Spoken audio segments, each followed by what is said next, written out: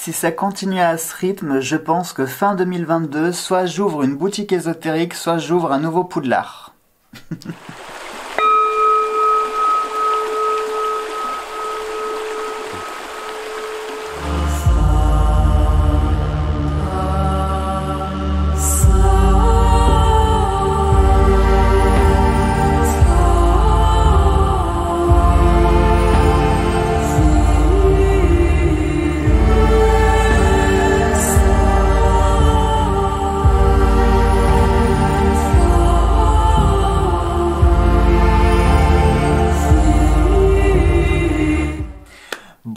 tous mes chers amis et merci de me retrouver pour nos nouvelles énergies de début de semaine. J'espère que vous allez tous bien, que vous êtes tous en forme, que vous avez passé un très bon week-end que vous travaillez ou que vous ayez profité, sachez que vous êtes dans mes pensées. Hein. Je sais ce que c'est que de bosser le week-end. Euh, bon, je pense que vous n'avez pas compris mon introduction. C'est normal parce que la caméra réalise un superbe cadrage qui filtre absolument tout le bordel, parce qu'il n'y a pas d'autre mot, qu'il y a sur mon bureau, puisque ce week-end, je suis allé faire mes petites emplettes pour notre rituel, notre esba lunaire. Euh, j'ai pris tout, franchement, je suis content parce que j'ai trouvé tout ce que je voulais. Je suis vraiment ravi. Euh, euh, même au-delà de mes espérances. Euh, donc je suis vraiment très content. Vous allez voir, ça, ça va être magnifique. Vraiment. Euh, j'ai aussi pris quelques euh, fournitures supplémentaires parce que je me suis dit attends Jo, si tu prends pile le nombre de participants, sachant que le rituel n'est que lundi soir et qu'ils peuvent encore participer, qu'est-ce qui se passe si jamais ils participent et que tu n'auras pas pris ce qu'il fallait? Donc j'ai fait preuve de comment on pourrait dire? D'intelligence et de logique en prenant quelques fournitures supplémentaires au cas où comme ça je me suis dit si tu as deux trois retardataires qui euh, s'inscrivent au moins tu auras ce qu'il faut donc n'hésitez pas si vous voulez vous inscrire vous avez encore le temps hein. vous avez toute la journée du dimanche toute la journée du lundi par contre à partir de lundi 18h je ne prendrai plus de réservation, enfin plus d'inscription, tout simplement parce que je vais commencer le rituel, je vais le filmer. Il sera posté sur la chaîne, je pense, aux alentours de 20h, 21h, plus 21h je pense, euh, puisque le temps de faire la vidéo, euh, je pense qu'on a au moins pour une bonne heure. Hein, euh, je vais vous faire un tirage d'énergie, on va faire le rituel, etc., etc. Donc il y aura une heure de vidéo, plus le temps de la monter, plus le temps de la poster, même en travaillant d'arrache-pied, elle sera pas au moins avant 21h sur la chaîne. Donc voilà. Donc c'est pour ça, ne participez plus après 18h, puisque ben, je, je pourrai plus, je serai en train de travailler, donc ça sera trop tard malheureusement. Hein. mais rassurez-vous, il y aura d'autres rituels participatif parce que je ne pensais pas que vous seriez autant à, euh, à, eh bien, à, à, vouloir participer au rituel. Ça me fait extrêmement plaisir. Donc par conséquent, sachez que on retrouvera ce, euh, ce service, si on peut appeler ça comme ça, tous les mois à chaque nouvelle pleine lune et bien sûr avec des énergies différentes, des thématiques différentes, des rituels différents. Donc il y en aura pour tous les goûts, pour toutes les couleurs, pour tout le monde. Voilà. Mais sachez que si vous voulez encore participer pour celui-ci, il est encore temps. Pour cela, vous avez avez mon adresse PayPal en bas dans la barre d'infos. Vous avez, je répète, le titre de la vidéo. D'accord? Là, là, là, ce que vous êtes en train de regarder, hein, vous avez la vidéo comme ça. Juste en dessous, vous avez le titre. À côté du titre, vous avez un petit plus, une petite flèche. Vous cliquez dessus, hein, et ça vous donne accès à une liste déroulante dans laquelle il y a mon lien PayPal, le lien Tipeee, etc. Toutes les informations nécessaires. Et il vous suffit de simplement de participer à hauteur de 5 euros avec votre prénom ou votre pseudo pour que je puisse bah, me graver sur les bougies. Hein, C'est quand même mieux pour travailler. Et, euh, et puis voilà. Donc vous avez jusqu'à lundi 18h pour euh, participer. Euh, autre chose que je voulais vous dire, comme ça en passant, si jamais vous allez à Jiffy, oui Jiffy, je fais de la pub pour Jiffy, parce que Jiffy des idées de génie. Ah, je pensais pas le dire euh, d'une traite celui-là. Franchement, j'ai eu peur d'écorcher en... Euh, j'ai été agréablement surpris et je suis tombé complètement par hasard dessus. Il propose les encens de la gamme Nakshampa, euh, pas de la contrefaçon, des vrais. Vous avez, alors il y en a quatre au total. Vous avez la sauge blanche qui sent super bon. J'en avais, euh, j'en ai déjà, d'ailleurs j'en ai pris parce que j'en avais bientôt plus. Il sent vraiment super bon et on reconnaît bien l'odeur de la sauge. Vous avez Positive Vibes que je ne connaissais pas et pareil, il sent aussi divinement bon. Et vous en avez un sur le Zodiac idem qui sont super bons. Et vous avez l'original aussi le Nac Champa donc qui est une euh, c'est une boîte comme ça mais euh, bleue euh, avec une odeur c'est l'un de mes préférés enfin c'est non c'est même mon préféré en termes d'encens. C'est la seule marque en qui j'ai confiance enfin en qui j'ai confiance. Je devrais peut-être pas avoir confiance parce qu'on connaît pas tout à fait la composition mais en termes de rapport qualité et prix et puis l'odeur je veux dire on reconnaît des encens de mauvaise qualité à l'odeur. Hein, ça, ça se sent quand c'est chimique Là, honnêtement, les fragrances, je pense qu'elles sont pures ou en tout cas de bonne qualité parce que euh, les encens restent parfumés pendant des années. Je vous promets, j'ai des boîtes qui datent de plusieurs années et elles sont toujours autant parfumées, c'est un truc de fou. En plus, la boîte est à 1,30€, euh, honnêtement, c'est quasiment le même prix que dans les boutiques ésotériques ou sur internet. Donc à ce niveau-là, euh, voilà. Et j'ai été surpris parce que ben, Jiffy, ils, ils vendent pas ce type d'article. Enfin, vous savez, dans ce type de magasin, on trouve les bougies et les, les bâtons d'encens Hein, voilà. et là, non, bonne surprise. Donc, si vous passez par Jiffy, eh bien, pensez à moi et faites-vous plaisir parce que c'est vraiment des très bons encens que je vous recommande pour méditation ou même voire pour travailler parce qu'ils ont une odeur qui est tellement euh, particulière, tellement forte que vous pourriez même les utiliser, pourquoi pas, dans les rituels. Même si, à titre personnel, je préfère les plantes et les grains, bien évidemment. Les grains, les résines, tout ça. Bon, euh, qu'est-ce que je voulais vous dire d'autre? Oui, je vais avoir besoin de vous, j'ai besoin de vos conseils, donc vous allez me mettre en commentaire. J'ai eu une idée, mais euh, comme j'ai jamais travaillé ça, je voudrais pas acheter quelque chose et, euh, que ça finisse à la poubelle en fait. vous savez que Imbolc approche bientôt et j'ai eu l'idée de faire des petites croix de Brigide et je voudrais pouvoir les conserver dans de la résine époxy. Le truc c'est que j'ai jamais pratiqué la résine époxy. Donc je suis un petit peu allé voir et j'essaye de me référer aux meilleures ventes, aux meilleurs commentaires, j'essaye de comparer plusieurs euh, sites, etc. Et sachant que je ne voudrais pas non plus acheter 80 euh, euros le bidon euh, d'époxy. Hein. On va essayer d'être raisonnable, hein. c'est-à-dire 20-30 euros grand maximum. Hein. Surtout si le truc il finit à la poubelle. Non donc voilà. Alors je voudrais votre avis pour ceux qui travaillent l'époxy. Dites-moi en commentaire avec quelle résine vous travaillez, la marque, etc. Comment la travailler parce que je sais que toutes les résines ne se travaillent pas de la même façon. Euh, j'ai pu voir aussi certaines résines où des commentaires disaient qu'il fallait, euh, il y avait un ratio de 1 pour 1, mais qu'en fait, euh, quand on faisait le ratio de 1 pour 1, et eh ben, la résine, elle restait à l'état de caoutchouc, elle ne se solidifiait pas, mais qu'en faisant, par exemple, un ratio de 1 pour 6, enfin 100 pour 60, et eh ben, et eh ben là, oui, par contre, il y avait, la résine finissait par se solidifier. Donc voilà, dites-moi en commentaire, vous, si vous en faites, quelle marque vous utilisez, dans, dans quelle, euh, dans quelle, hum, dans quelle euh, proportion vous utilisez la résine. Voilà, dites-moi tout, parce qu'en plus c'est euh, quelque chose que je voudrais vous proposer. Alors je compte pas faire 500 croix de brigide, qu'on soit bien d'accord. Si j'en fais, c'est quelques-unes, hein, ça, ça, ça, sera 4-5 maximum. Mais voilà, ça me faisait envie, donc dites-moi, dites-moi, dites-moi, je compte sur vous. Bon, qu'est-ce que je dois vous dire de plus? Oui, je vous annonce que les vacances aussi sont terminées. Je reprends donc du service et euh, ça m'a fait du bien de marquer cette petite pause. J'en avais grandement besoin. Et je vous ai prévu donc lundi euh, le rituel de la lune, mardi une petite review parce qu'il faut que je vous montre un nouveau jeu que euh, notre cher Arcana Sacra m'a envoyé et à qui je fais de gros bisous au passage. Un jeu qui est juste je vais pas dire sublime, il est, euh, il est plus que sublime, il est particulier en fait. Il s'agit des euh, Divines Muses Oracle en édition française. Et euh, ce jeu, quand je l'ai découvert, j'avais ma maman qui était à côté, elle a découvert le jeu en même temps que moi et elle a ressenti exactement la même énergie. Vous verrez, je vous en parle pas mieux, faudra aller voir la review pour savoir, mais c'est un jeu qui est vraiment particulier, qui m'a je sais pas, ça m'a fait un quelque chose, je vous en parlerai dans la vidéo, ça, ça, ça, ça, sera mieux. Voilà.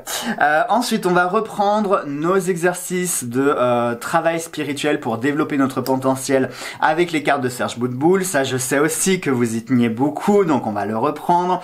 Je vais aussi vous finir l'interprétation du tarot, ce serait bien quand même, hein, parce qu'il nous reste trois familles. Et...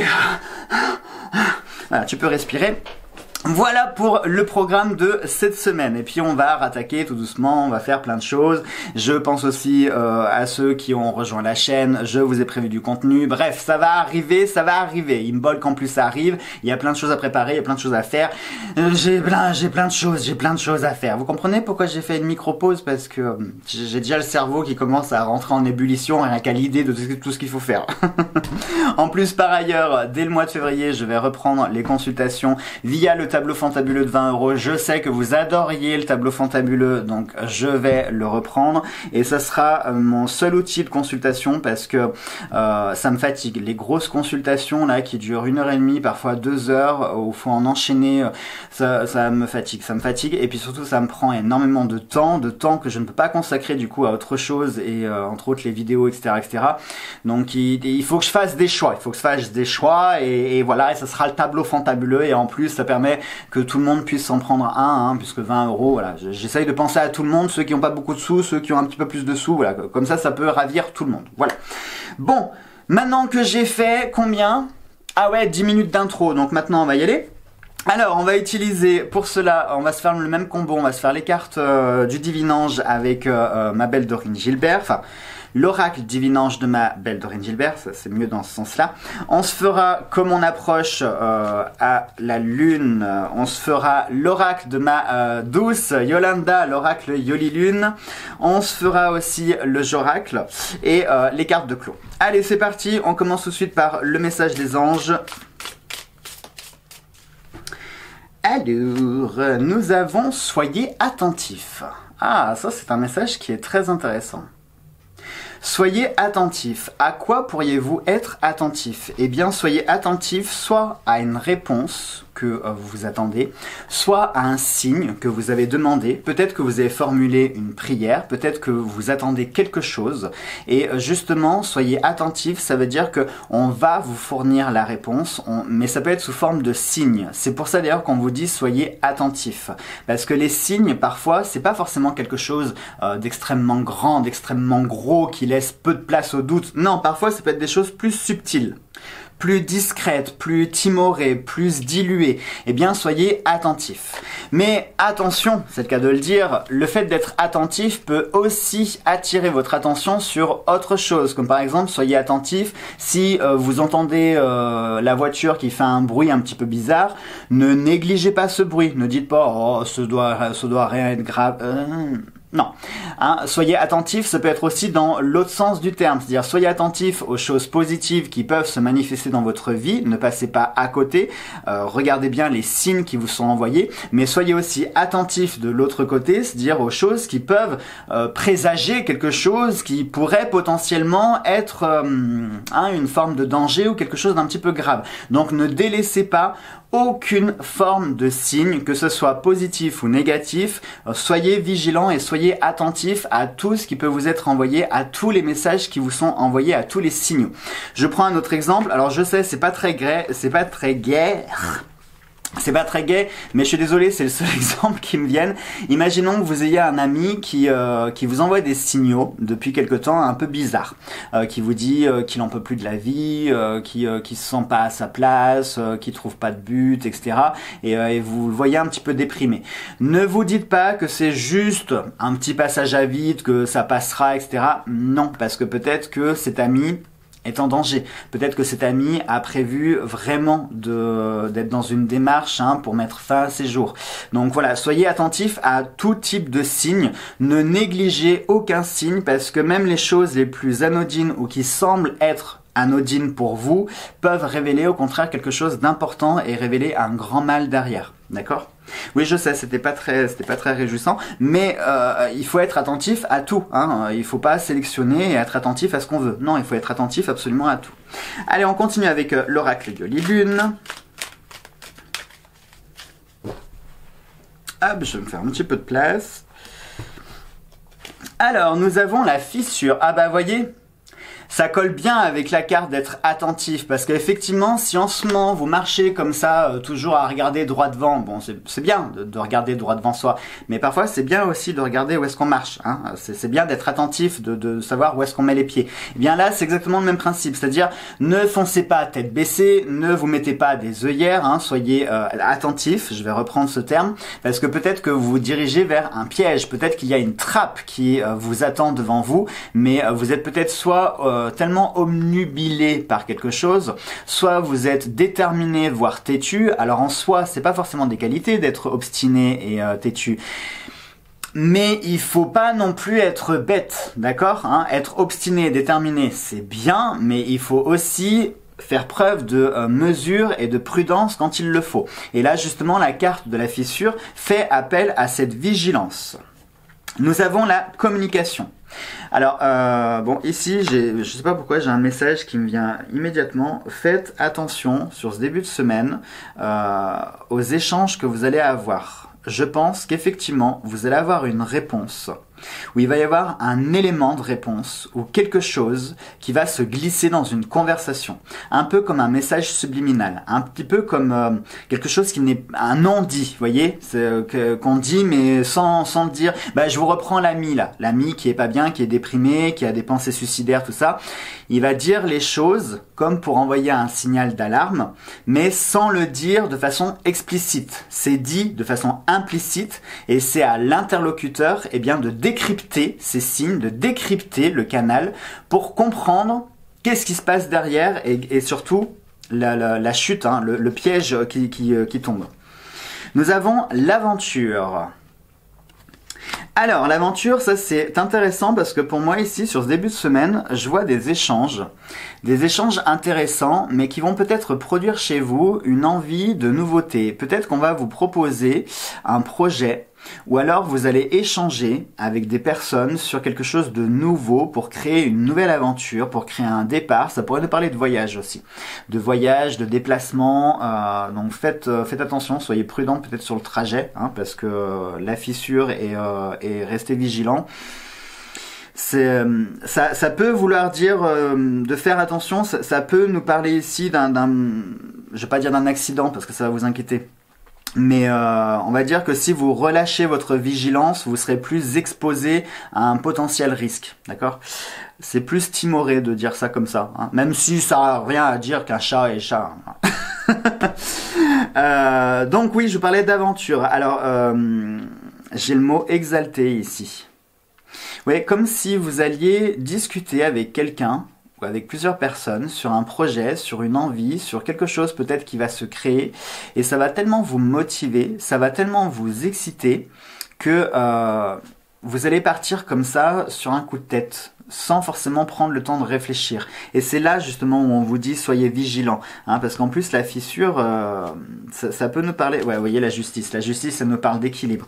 Donc pour moi, pour ce début de semaine, il va falloir que vous soyez timoré, c'est vraiment le mot. C'est-à-dire, ne soyez pas dans l'exaltation, ne soyez pas dans euh, Parfois, vous savez, quand on est comme ça dans un état un peu euphorique, on pense qu'à un truc, mais on pense plus à tout ce qu'il peut y avoir derrière. On ne pense plus aux conséquences qu'il pourrait y avoir, aux potentiels scénarios qui pourraient se passer, euh, aux conséquences, etc., etc. Non, on pense plus à rien. On pense juste à ouais, cool, trop bien, machin, voilà. Non, bah, bah, je redescends un petit peu. Soyez timoré, c'est-à-dire oui, réjouissez-vous en fonction de ce que vous allez apprendre, parce que ça pourrait être effectivement une opportunité ou quelque chose d'intéressant qui pourrait créer une nouvelle aventure dans votre vie. Donc oui, c'est quelque chose d'intéressant.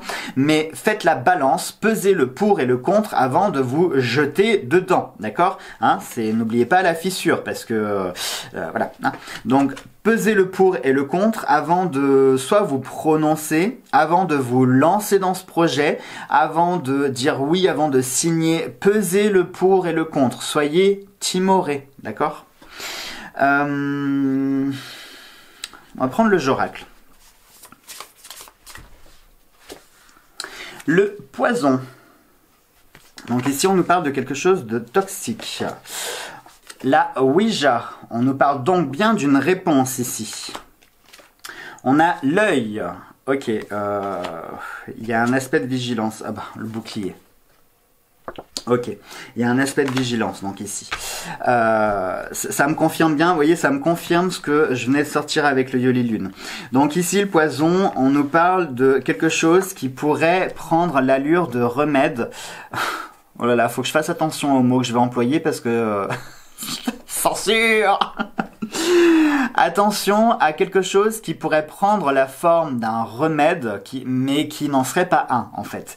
C'est-à-dire que parfois, face à certaines situations, comme par exemple la Ouija, la Ouija, euh, quand on est désespéré, enfin quand on est entre guillemets désespéré, mais quand on est triste, quand on croit avoir besoin pour faire son deuil de euh, échanger un dernier mot avec euh, la mamie, le papy, etc., etc. Mais parfois, ça peut s'avérer être beaucoup plus dangereux et c'est pas forcément ce qui va vous aider à faire le processus de deuil. Et le poison, c'est le même principe, c'est-à-dire que même un poison, quelque chose peut être euh, bénéfique à très petite dose. Par contre, avec une dose un peu plus élevée, ça devient un poison mortel. Attention aux questions que vous pourriez poser, attention aux choses que vous désirez, que vous demandez, car effectivement vous pourriez avoir les réponses, mais ces réponses ne seront pas forcément euh, des aides, ok? Là, la carte de l'œil me fait vraiment penser en plus à quelque chose qui vous épie, quelque chose qui vous regarde, qui vous espionne. Alors ça peut être une forme de mauvais œil, ça pourrait, euh, parce que quand même on a, on pourrait avoir un travail occulte on a la carte de la Ouija, on a le bouclier. Euh, il pourrait ici y avoir une idée de mauvais œil.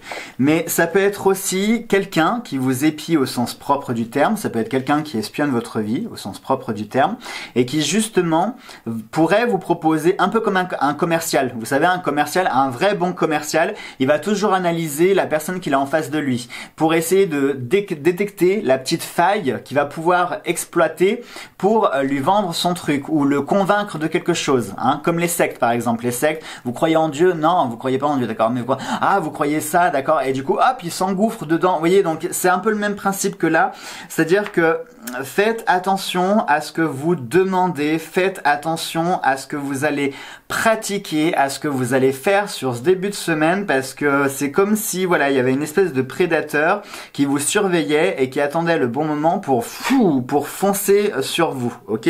Donc soyez euh, oui, restez vigilants. Non non, mais ça, ça colle bien, hein, ça colle bien. En plus la carte du bouclier ici nous parle de protection. Protégez-vous, faites attention.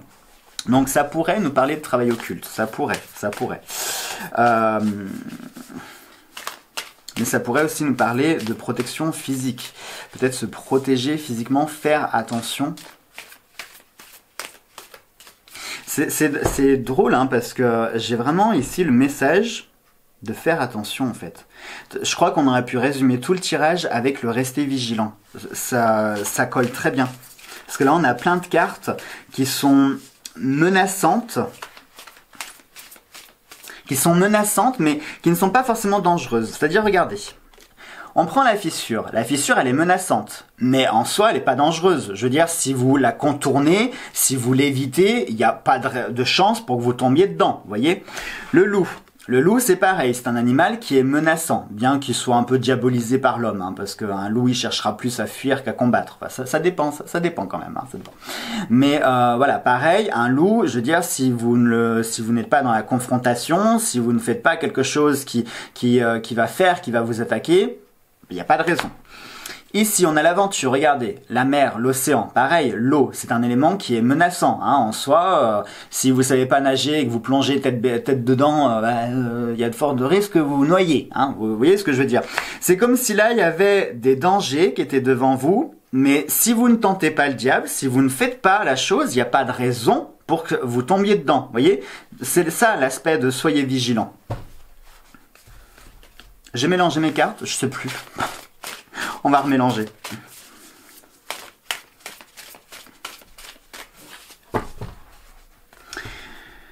Alors, on... On a la carte du bouclier. Ok, ok. Donc c'est bon, vous avez bien compris là, il va falloir vous protéger, il faut faire attention. Soyez aussi, le bouclier pourrait nous dire euh, d'être sur la défensive et pas dans l'offensive. C'est-à-dire ne soyez pas l'initiateur, n'attaquez pas, hein, n'allez pas de front, mais au contraire, soyez sur la défensive, attendez-vous euh, comme s'il y avait une attaque qui arrivait, protégez-vous, d'accord? Pensez plutôt à vous protéger plutôt qu'être dans la dans l'offense. Nous avons la Donc ici on nous parle de projet, vous voyez, donc ça colle bien avec ce que je vous disais. On a la carte, la grande carte.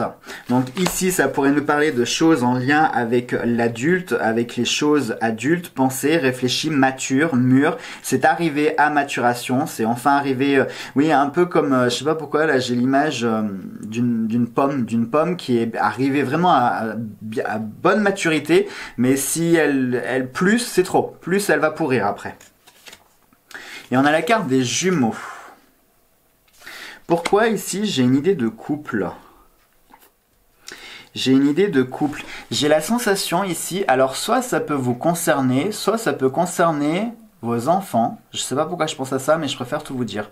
Soit ça peut concerner vos enfants, soit c'est un couple qui est dans la difficulté et que vous devez aider. Mais attention à l'aide que vous fournirez parce que euh, ça peut devenir un piège. C'est-à-dire que lorsqu'on commence à aider quelqu'un, là, je vais parler par expérience. Quand on commence à aider quelqu'un, euh, on commence par un ongle, puis par une phalange, puis par le doigt. Et puis à force, la personne s'habitue à ça, et puis elle va commencer à être un petit peu plus gourmande et demander plus, plus, plus, plus, plus, jusqu'à vous bouffer complètement. Hein. Et une fois qu'elle vous aura bien sucé jusqu'aux os, elle jettera le cadavre. Et eh ben c'est, je sais pas pourquoi, je pense exactement à ça. Soit vous allez être amené à devoir aider quelqu'un, mais faites attention si vous êtes dans l'aide, euh, aidez mais avec des limites. C'est-à-dire, vous, vous fixez des limites et vous allez aider euh, ce que vous vous êtes programmé, pas plus. Bon, je sais pas pourquoi je pense à ça parce que les, cartes, euh, enfin, je sais pas, je sais pas, j'ai ce message donc euh, je vous le transmets. ça pourrait nous parler aussi de nouveaux projets, de grands, de gros projets, de projets d'ampleur. Ça pourrait nous parler d'un grand projet aussi en lien avec quelqu'un. Peut-être que vous allez vous associer avec quelqu'un. Peut-être que vous êtes en train de vous associer avec quelqu'un. Peut-être que vous allez faire quelque chose avec votre mari, un ami, votre épouse, peu importe, un membre de la famille, j'en sais rien qui. Mais ici, ça pourrait nous parler d'un grand projet ou d'un projet de grande ampleur qui concerne deux personnes ou un groupe de personnes. Et ce projet, il faut impérativement le protéger. Et pour le protéger, soit vous allez devoir le protéger de façon légale, par exemple en déposant l'idée, en déposant un brevet, ou le protéger en euh, le déclarant, euh, je sais pas moi, un organisme quelconque, ou le protéger en conservant le secret en n'en parlant à personne euh, et attendre que le, que le projet soit viable et qu'il soit créé pour ensuite l'annoncer. Mais il y a ici un sentiment de protéger un projet de grande envergure. Voilà donc mes chers amis pour nos énergies de ce début de semaine. Bon, et eh ben là encore, on avait des énergies qui étaient très intéressantes. Allez, sur ce, je vous embrasse fort. On se retrouve demain soir pour notre esba lunaire. En attendant, prenez bien soin de vous, commencez bien la semaine, bon courage à tous, et puis, et puis voilà, et puis c'est tout, j'ai fini, c'est bon, allez, coupe la vidéo.